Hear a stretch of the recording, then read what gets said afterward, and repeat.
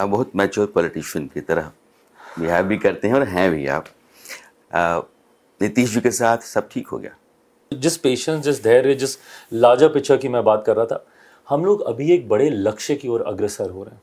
लक्ष्य, प्रधानमंत्री जी ने जो हम लोग को 400 सीटें जीतने का जो लक्ष्य दिया है, उसकी ओर हम लोग अग्रसर हो रहे हैं। ऐसे में भाई अगेन राजनीति का विद्यार्थी होने के नाते ये बात भी हम लोग को सिखाई जाती है कि राष्ट्र हित सबसे ऊपर होता है उसके साथ कोई कॉम्प्रोमाइज़ नहीं होते। राष्ट्र हित के बाद गठबंधन का हित आता है गठबंधन के हित के बाद आपके दल का हित आता है और आपके दल के हित के बाद अगर कुछ बच जाए तो इंसान व्यक्तिगत हित की हिताओं हितों की चिंता कर सकता है। पर सबसे ऊपर राष्ट्र हित रखना है। राष्ट्र हित के लिए इस गठबंधन का मज़बूत रहना बहुत ज़रूरी है। प्रधानमंत्री जी को अगर तीसरी बार प्रधानमंत्री बनाना है देश का तो उसमें बिहार की 40 सीटों का एक अहम योगदान है। वो 40 सीटें हम लोग तभी जीत पाएँगे जब ये गठबंधन इंटैक्ट रहेगा। गठबंधन इंटैक्ट कैसे रहेगा जब हम सब अपने मतभेदों से उठकर उस लार्जर गोल की दिशा में हम लोग कार्य करेंगे। ऐसे में अगर मैं मेरे मुख्यमंत्री अगर आपस में ही उलझ गए तो भाई इसका नुकसान सिर्फ़ और सिर्फ़ गठबंधन को तो होगा। फिर तो ये सियासी सौदेबाजी है ना? सियासी सौदेबाजी नहीं है। आज हम लोग को प्रायोरिटाइज करने की ज़रूरत है लक्ष्यों को निर्धारित करने की ज़रूरत है। ये देश के चुनाव हो रहे हैं। ये बिहार के विधानसभा के चुनाव नहीं है। उसमें हम्म। फिर हम लोग अपनी अपनी बातों को रखेंगे सारी बातों को रखेंगे। उसी मंच पर रहकर मेरा बिहार फ़र्स्ट, बिहारी फ़र्स्ट का मेरा विजन है। उस विजन के साथ मैं आगे बढ़ना चाहता हूँ। उन तमाम बातों को बिहार के चुनाव के वक्त हम लोग ज़रूर, हम लोग सामने रखेंगे। पर आज जब हम लोग लार्जर पिक्चर बिगर गोल्स की अगर हम लोग बात कर रहे हैं, उसमें आपसी मतभेद से विपक्ष को बल देंगे और हम लोग को नुकसान करेंगे। जो चिराग कहते थे कि नीतीश कुमार के पास विकास को लेकर कोई नज़रिया नहीं है उन्हें बिहार का बंटाधार कर दिया। बिहार में डेवलपमेंट के लिए बहुत सारी गुंजाइशें हैं वहाँ के साधन संसाधन हैं कि बिहार अपने पैरों पर खड़ा होकर के बहुत आगे बढ़ सकता है। ये सारे सवाल हाशिए पर चले गए। बिल्कुल नहीं गए। ये सारे सवाल पुनः जब राज्य के चुनाव होंगे तमाम सवाल आएँगे। और मैं मानता हूँ मैंने उस वक्त मैंने कुछ गलत नहीं कहा था मैं आज भी मैं उसी बात पर हूँ। मैं मानता हूँ कि मेरे प्रदेश में इतना पोटेंशियल है। इतना सामर्थ्य है भाई इससे ज़्यादा सौभाग्यशाली और क्या प्रदेश होगा जहाँ पर एक से एक टैलेंट है आपके पास बड़े से बड़े महापुरुष उस धरती से रहे हैं आप गुरु गोविंद सिंह जी की वो धरती रही है भगवान महावीर की वो धरती रही है गौतम बुद्ध की वो धरती रही है अयोध्या में भगवान राम के मंदिर की हम लोग चर्चा करते हैं मेरी माता के मेरी माता सीता की धरती वो रही है हम्म। तो ये तमाम विषय हैं आर्यभट्ट वहाँ के हैं चाणक्य नीति राजनीति में जिसका हम लोग सबसे ज़्यादा ज़िक्र करते हैं वो उसी धरती से हैं तो ये तमाम महापुरुषों की एंड नीडलेस उसे मैं कई बार कह चुका हूँ मीडिया हाउसेज में चले जाइए, आपको टॉप पोस्ट पे आपको बिहारी मिलेंगे। बिज़नेस हाउसेज में चले जाइए सी ओ सी एफ़ ओ आपको बिहारी मिलेंगे।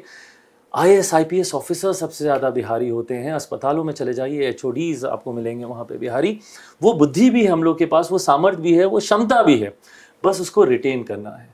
उसको रिटेन करने के लिए सबको साथ मिलकर उन योजनाओं को उन नीतियों को बनाना होगा और आज मेरा विश्वास बिहार पर या बिहार की सरकार पर आज क्यों बढ़ता है क्योंकि एक लंबे समय के बाद बिहार को डबल इंजन की सरकार मिली है हम्म। बिहार का ये दुर्भाग्य रहा है कि निरंतर विरोधाभास की सरकारें रही आप खुद ही देखिए भाई जितने समय तक आ, आ, आ, सेंटर में यूपीए की सरकार थी तब बिहार में एनडीए की सरकार थी।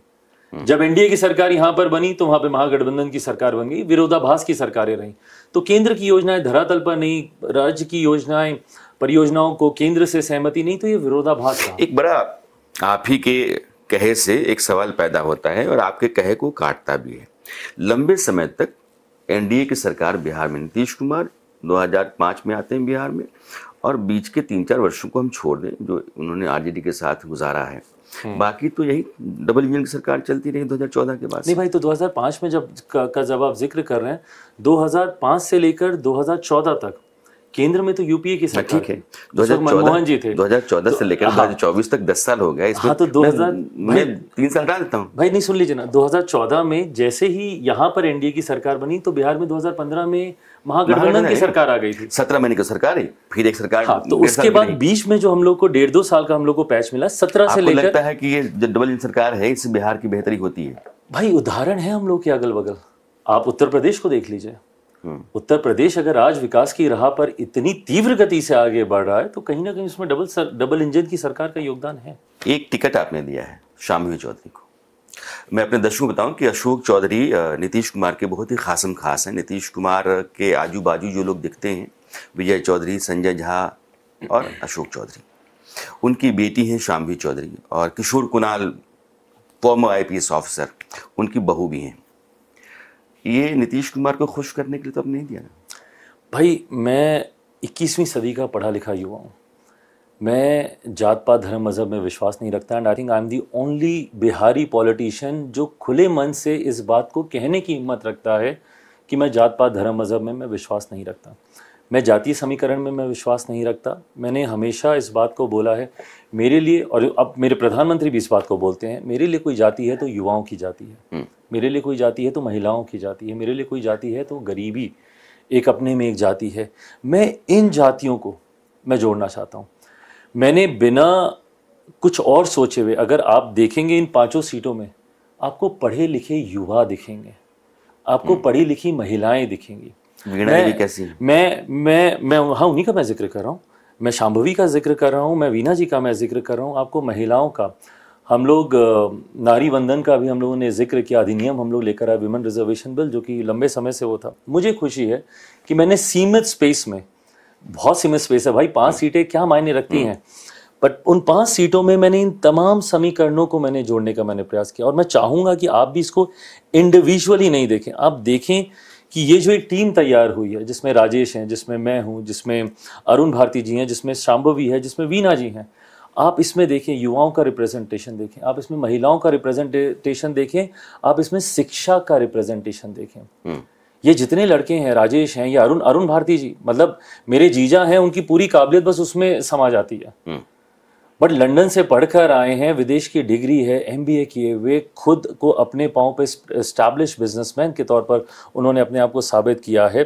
तो ऐसे में ये सब यंग टैलेंट्स हैं एडुकेटेड लोग हैं। तो मैं इस टीम के साथ, मैं बिहार को मैं आगे लेकर जाना चाहता हूँ। तो ये किसी को खुश करने के लिए नहीं है, ये युवाओं का रिप्रेजेंटेशन है, पढ़े लिखे युवाओं का रिप्रेजेंटेशन है।